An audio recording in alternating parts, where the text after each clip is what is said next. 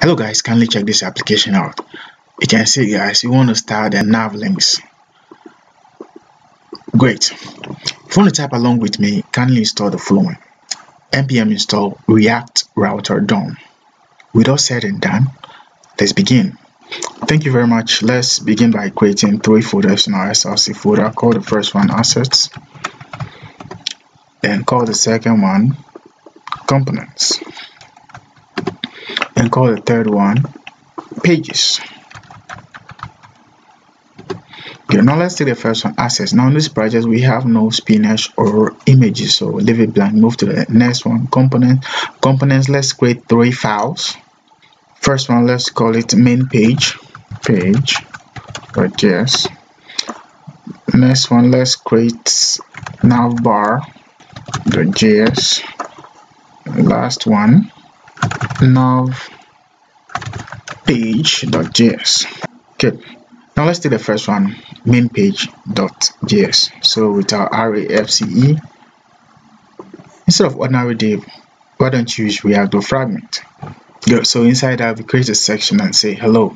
So let's link that to the app.js to view on the screen. So we go to app.js then call our main main page. Okay, let's import it great. So we have hello on the screen means we're ready to go. Okay so the main page what do we do? Now over here let's create two divs. One for the nav bar. Let me just comment it and say nav bar section. Then the next one is going to be the nav page section. So we have nav page section. Okay so we have its div here. Good so let's take the first one. Now in this first one what do we need? Let's give it a class name. So we say bg blue height 20 and weight 20 so likewise the that's for the nav bar. So now the next one is the nav page. The nav page will be the rest. So the rest what do we do? Let's give it also a class name. So we say bg blue h height screen and width full. Let we can even change it for now since we are now getting it. Let's make it 200 you can see the difference. You can see here you can see guys. So that is that. So next now let's create a nav bar so let's go back create our navbar so over here we call our rafce then inside that we instead of ordinary div let's give it react dot fragment. So inside that we say hello. Now let's link this navbar to the main page. So let's call navbar here. Close this so you can see. So we say navbar let's import it guys so you can see guys. We got hello inside the nav bar section. So now what we're going to do next is to go to the nav bar and start our design. So let's go to the nav bar. Okay so over here let's take the hello off and give it a class name. So we say with full height 16 bg black text white text XL uppercase font bold grid. The grid let's make it uh, grid uh, then grid cols 4 an overflow hidden. So we know grid will divide uh, this space into four equal parts. So what we're going to do next is to call the the p tag to do the uh, nav links. Okay. So that call the first one the p tag. First one is what uh, we have here uh, p tag home with uh, uh, class name border width full height full and px4 and what uh, it. so likewise we're going to do likewise for uh, the rest. News. And the last one. Contact. So next is the nav pages. Okay we need the nav page so that when we click it appears here. So let's work on the nav pages. So nav pages let's go there to nav page. Let's call our rafce so instead of ordinary div we add the fragment. Inside that we say hello. So let's link the nav page to the main page. So let's go to the main page. Good so in the main page we have the nav page section here.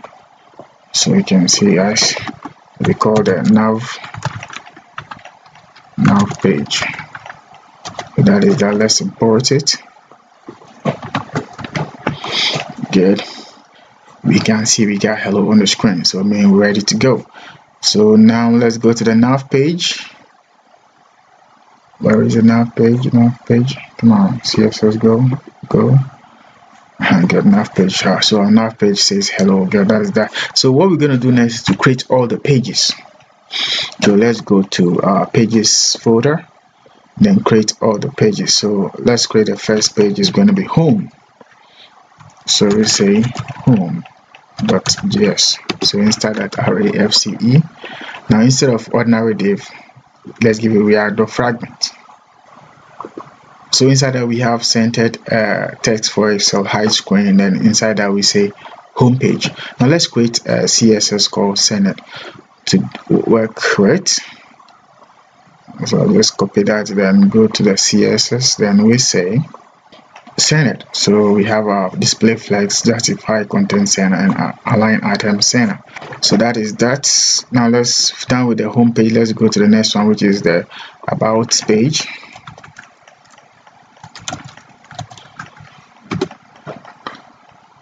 So same thing. So rafce. Then instead of ordinary div, let's give it the then inside that we change it to about let's move to the next one uh, news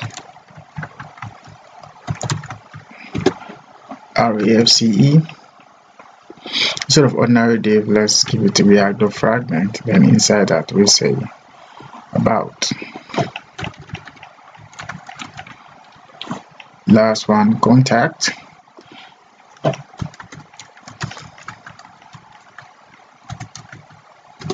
Array fce instead of ordinary div and inside that we say contact so that is that guys. Now let's go back to the the page the uh, nav page you can the nav page then call all of them. So we go to the nav page. What do we do? We import. We have to route router DOM. Good so over here we have routes route from what? We have router DOM. Now what we're going to do is the browser router, we're going to uh, import it at the main page at the app.jss. Okay, so we go to the app.jss, then import we have router, browser router. So over here we say browser router. So now let's call browser router over here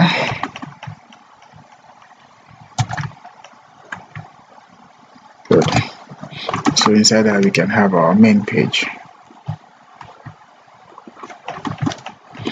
so that is that. So now let's continue with the nav page. Nav page we have the route. So next is to what? To bring the route here. So we can copy the route.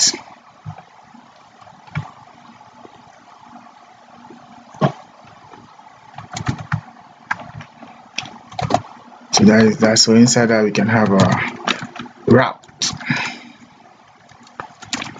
Get self close tag so now let's call the element yeah so we say route give it a path then element is what? Home. So let's do for the others too. Good. So that is that. We've done for the about the contacts page and the news page. So now let's import all of them. Good. So I think we're ready now. So now let's check our page if we got home page there so let's go back. You can see guys we got home page here. So that is that guys. Let's check it out if all the pages are working.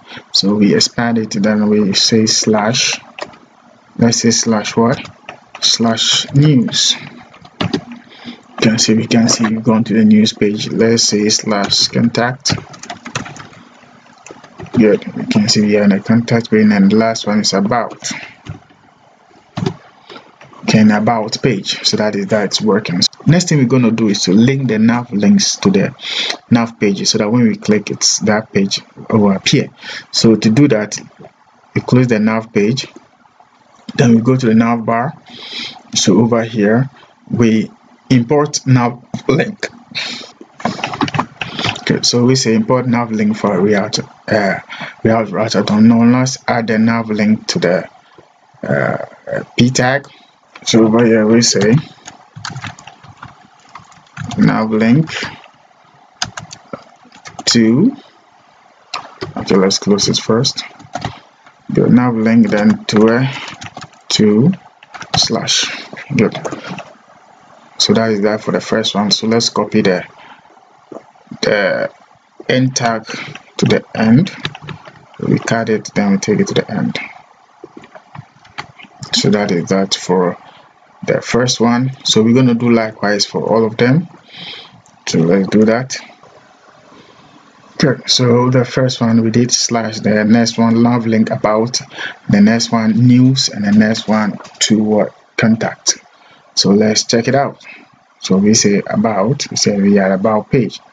You can see we are in the news page. So that is that guys.